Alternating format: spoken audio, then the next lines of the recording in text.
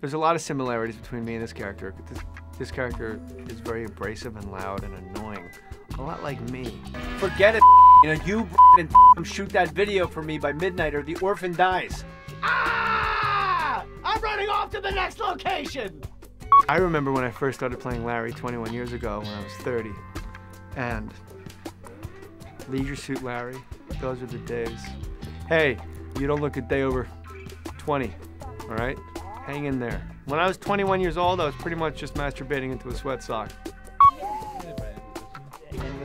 So, ladies, where now? I'm ready to receive my reward. I never had pickup lines. I always just said, hi, how are you?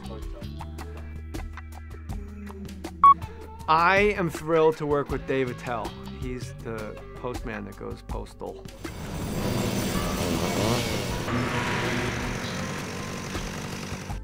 Actually, Carmen Electra is one of the most beautiful pairs of eyes you've ever seen in your life.